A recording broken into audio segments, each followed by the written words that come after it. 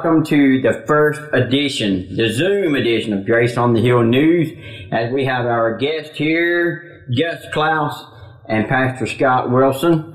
And uh, we're going to try to present the news to you on this wintry day. Uh, what is today's date, guys? Today is the 15th. All right, of The day 20. after Valentine's Day. Oh, okay. Yes, You slept on the couch if you forgot Valentine's Day. So, guys, uh, something that I remember that was written down in our notes when we did our announcements. What about your reach team? That you are you hoping to have your meeting this week? Well, maybe this week. I don't know if Tuesday night's going to work because we're supposed to get more of this up until 1 o'clock on Tuesday.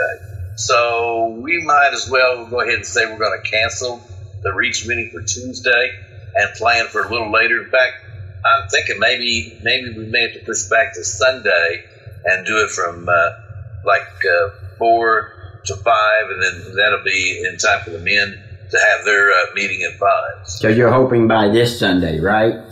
Yes, this Sunday. I'm hoping yes. By that time, we'll we'll figure out how to get around town again.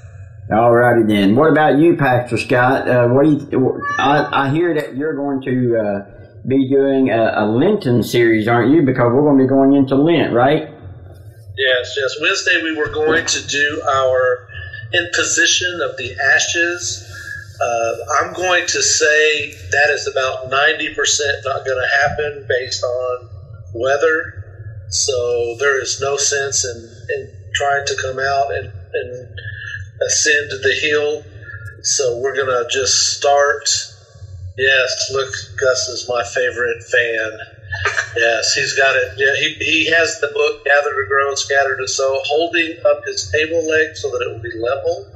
But And, this uh, way, see this way, if you're snowed in, always have a good read with you. Yes, yes, or that one.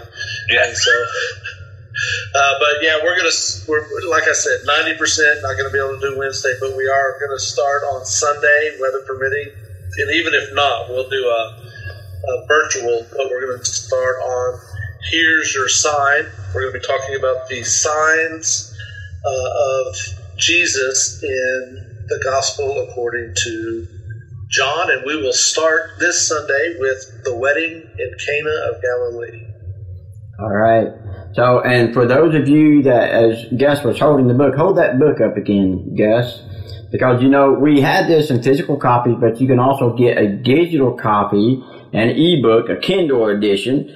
That you know you don't have to have a Kindle like I have an iPad. That's what we're doing our Zoom conference on, and I actually have the book on my iPad, which I prefer because I do a lot of reading at night whenever uh, there's low light, and you know with a, with an iPad you can read it and so it's it's uh, what I've read so far. It's a really good book. So I recommend that everybody grab your copy and start reading. Uh, what about you know? I guess we're kind of hoping to do ba- Bible and basketball, but it probably won't happen tomorrow, will it, Gus? I, I don't know. Hold on. Can, can you hold on just a second? I got a phone call coming in. Go ahead. I, uh, Daniel Hello? said if it doesn't happen on, uh oh, wait a minute. Hello. This is Maxwell Smart calling. oh, yes, yes, Chief. The chief wants me to remind you. You know what tomorrow is? Tomorrow? That Tuesday. That, shoot, man, I'm fat every day. What are you talking about? Yeah, Fat Tuesday, the day that you before you have to start giving up things for Lent, you you celebrate by having Fat Tuesday. Yes, and if you live in in uh, New Orleans, you can go to the. I wonder if they're going to do it this year with uh, I don't COVID. know. I don't know. I don't know. They're pretty. Yeah, I celebrate Fat Tuesday Monday through Sunday. Uh, pretty much. Just saying. Yeah, now, basketball. I don't know that they're going to be able to do it tomorrow. If the if the They're field shut down, then then nothing's going to. Yeah, be. yeah. If we yeah, if we're shut down, it, it, a lot of a lot of it depends if the weatherman gets it right. If he gets it right, we're we're here. You know, we're at home. Um, But I'm sure if they don't start this Tuesday, they'll start next Tuesday. Right, and and what he wants, he's going to start off slow. Uh, Daniel's going to start off slow, and he's going to uh, just do some like drills and, and games and stuff, half court games and stuff, and, be, and before every- you know, until everybody gets in good shape, and so it's a good time to, to get out with some guys and just shoot some ball and and just have a good time. Yeah, I mean, if they just play horse, I can do that. Yeah, Yeah, I I mean, around the world. I love. I'm, I'm a I'm a big round the world person. So yeah. All And right. speaking of sports, did you were you speaking of sports? Speaking of sports, Speaking hello. of sports, uh, we're we're still taking signups for ages four, five, six, and seven indoor soccer. That's based on the age they were on October the first of 2020. And so, if you paid last year, you don't have to turn around and pay again. Uh, you know that's double dipping. And so, uh, because they only got to play one game last year, so we want to invite those kids back, even if they turn seven, because we usually don't have seven year olds playing. But uh, you know, we want you to try. Come on out, have a good time. Uh, adults in the church, if you would be willing to be a coach, please see me and let me know. Um, I've talked to some of my coaches, and a lot of them are coming back, and have even got some new names in there that are thinking about uh, giving it a try. So uh, come and help us out.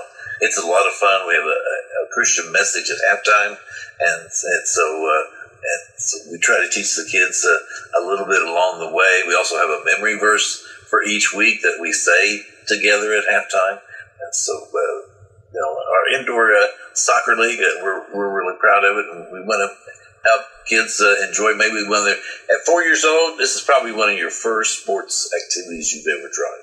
Yeah. And if you don't know the number, you can just call Gus on his Sleep Chew, uh, and he will uh, he will take your registration.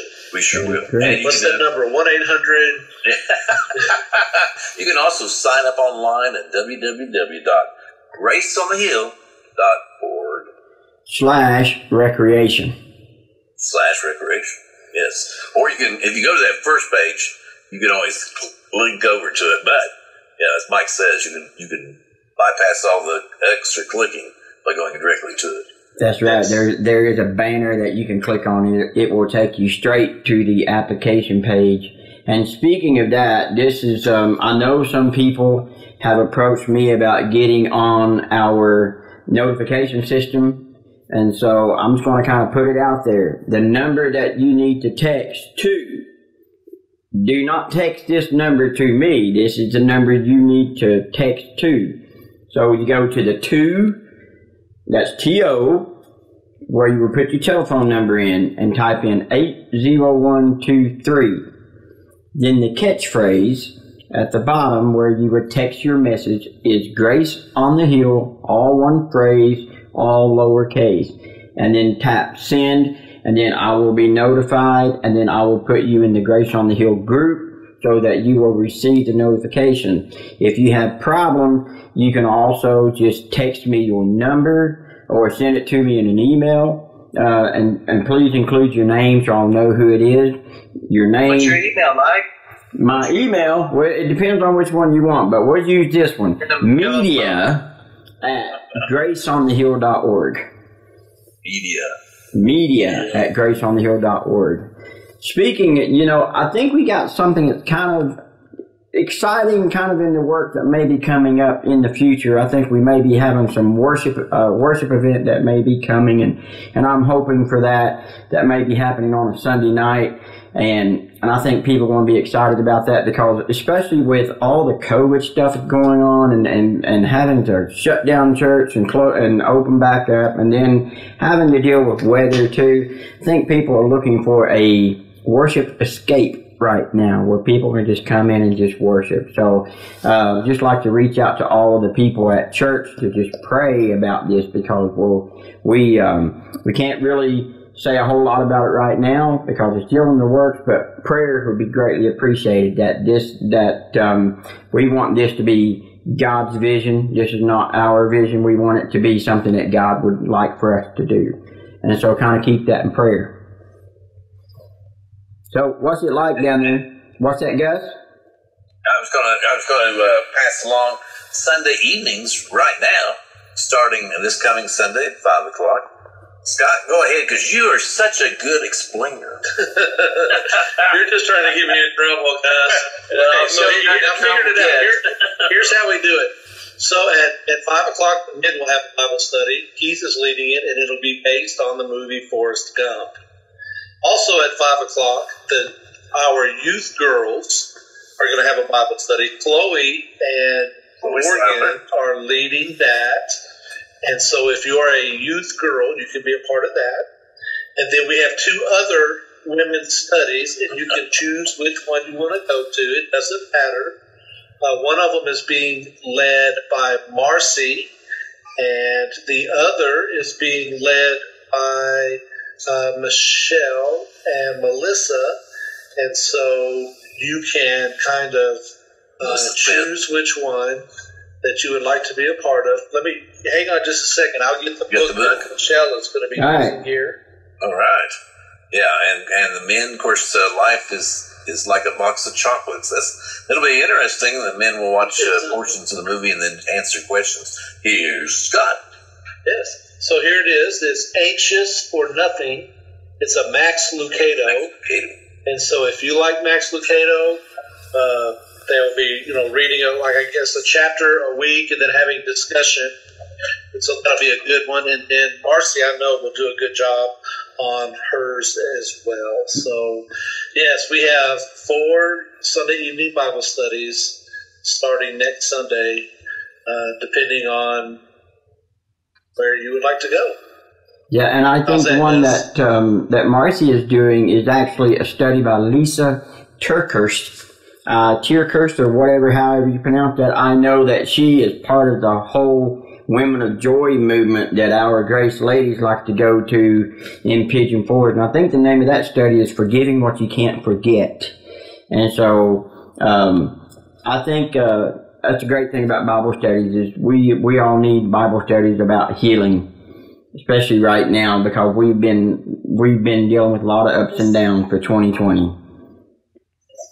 Yeah, Michelle says she's just assisting.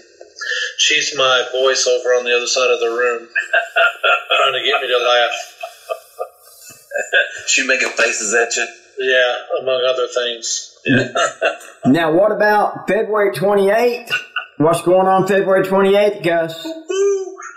Oh, I don't have my gun. I've been caught unprepared. so it's uh, it is Nerf Wars two. Right, well, man, I have heard there are some excited young people and older folks who are wanting to get out there and have some fun in the gym.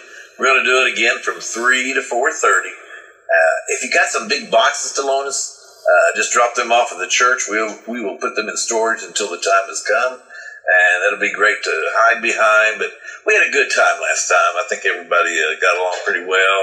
And even though somebody that's included on this uh, video cast threw me under the bus and uh, uh, you know and said that we yes well in, in my screen he's up above you in my screen he's over here uh, and we're hoping he's our special guest star yes special guest star uh, yes Mr. Mike uh, Mr. Mike Mr. Mike well Mr. Mike we we are uh, we're We would like you to come, We'd love for you to come, Mr. and so we can shoot you with darts. Okay. We can't hit him with a snowball. He's too far away. So we- push- Whatever I can do to, to help. Yeah, whatever you can to help the, help the cause, make them more excited. Yeah, because first they were going to shoot Pastor Scott, and then uh, They they did. told him on Sun- that Sunday to shoot me. And so, He still shot me, just so yeah, you know. so yeah. But anyway, yeah, they still shot Pastor Scott and myself. So, Pastor Mike, you could be another another person for them to aim at. Okay, well, just like I said, whatever I can do to help. Yeah. just wear a shirt with a big target on it, Yeah. and just walk Yeah. around the gym the whole time. That'd be great. That would be a great little sound effect when you hit me, go ding, like what you see in the carnival. Ding, That would be ding. of fun. That'd be fun. Yeah, if you could do that, that'd be great. Well, guys, I guess that kind of covers it so far for this week. So I guess we just need to let people know just follow us on Facebook because we are kind of disconnected because of the weather. So, and I know a lot of people don't like to get on Facebook and, and, and I can understand. But the great thing about the website is we have a Facebook page that's embedded into our website. So you don't really have to go to Facebook. You can actually go to graceonthehill.org slash Facebook and you don't have to worry about forgive me, seeing all the drama that you would normally see on social media. At least you can just go to our social media page and, and just be See our blessed. drama. Yeah. so, but um, yeah, just kind of follow us on social media and text Grace on the Hill to eight zero one two three. Uh, you can get our newsletter. I know that we, um, matter of fact, we got a couple more weeks in this month, and then we'll be getting our March newsletter soon. So, uh, any anything that you can probably want the church to think about, Scott, to prepare for Lent? Oh, Lent, Lent is a season of preparation where we we anticipate uh, celebrating the resurrection, and so uh, what I like to challenge people to do is to consider something that you might want to give up for Lent. Uh, perhaps it's you know uh, a beverage like coffee or chocolate, or or maybe it's something else, and then. Uh, take the resources that you would have spent on that, whatever it is, set it aside throughout the Lenten season. Then on Easter Sunday morning, we'll have a special offering. We'll invite everybody to bring their special offering. This is above your tithes. Bring your Lent money, and we will put that in our community relief fund. And that goes to help people in our community that are in need. And so 100% of that money stays in the community and it goes to people that are struggling with various types of things. And so, yeah, um, it's a great season. I've done it before. It's it's a good opportunity to kind of focus on your walk with the Lord. And but remember, Sundays don't count. So if you give up chocolate, then you can have chocolate on Sunday. And, Tomorrow's Fat and- Tuesday. Yeah, So you can eat all the chocolate you want. that's right. And can't be stuff that you don't like. Because I thought about giving up beets until you said uh, it had to be something that you would Yeah. normally Can't give up calamari if you don't eat calamari. Never had those No. little squibbly things. So. and for those that Give may have sushi if you don't like sushi. Yeah, for those that had the leftover Krispy Kreme donuts, you know, you can you can always save them and, and then eat them on Sunday. That'd be a great dessert for the Sunday dinner. Everybody's going to walk in church on Sunday morning hyped up on sugar. Well, I guess that just about does it. Um, so um, I thank you for joining and for helping making this possible because communication is a very important thing that we have to do, especially during this time. So I'm Mike. I'm Scott, Oh, sorry. and he's Gus. no, He is the big Mike. goo. The big goo and the big Mike. Okay, bye everybody. Bye.